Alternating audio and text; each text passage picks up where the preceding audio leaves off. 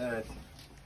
Mesih 25 Aralık yani 24 Aralık'ı 25 Aralık'a bağlayan gece işte doğum sancısı başlıyor ve sabaha karşı Mesih doğuyor. Sen öleceksin nasıl? İlginçtir. Kur'an'da da e, Meryem suresinde Mesih'in doğumunu anlatan ayet 25. ayettir. O 25 Aralık 25 ile şey tevafuk olmuş.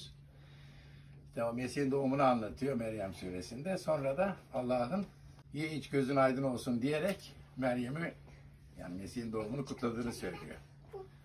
Şimdi Müslümanlar işte Noel kutlamak, Mesih'in doğumunu kutlamak caiz değildir. Mesih'in doğumunu kutlayan dinden çıkar filan diyor. Kur'an'da hiçbir peygamberin doğumu bu şekilde anlatılmaz. Zaten Meryem'den başka bir kadının ismi de yoktur. Mesih'in doğumunu anlatır. Ve Kur'an Allah'ın Mesih'in doğumunu kutladığını söylüyor. Diğer peygamberlerin doğumunu kutladığını söylemiyor. Dolayısıyla asıl Mesih'in doğumunun Noel'ini Müslümanların kutlaması gerekir. Hadi kutlamıyorlar. Bir de tutuyor Diyanet, ilahiyat, tarikat, siyaset, cümbür cemaat.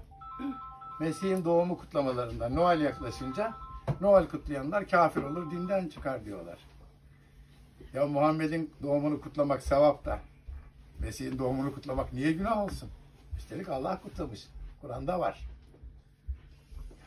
Kur'an'a göre, inanca göre böyledir.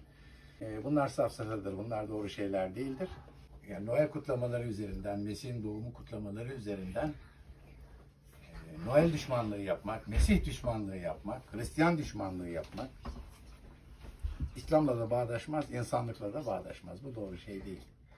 Ben bugün bu Noel'de bunu hatırlatarak Noel pastasını kesmek istiyorum. İnananlarla birlikte e, Noel'i kutlamak istiyorum.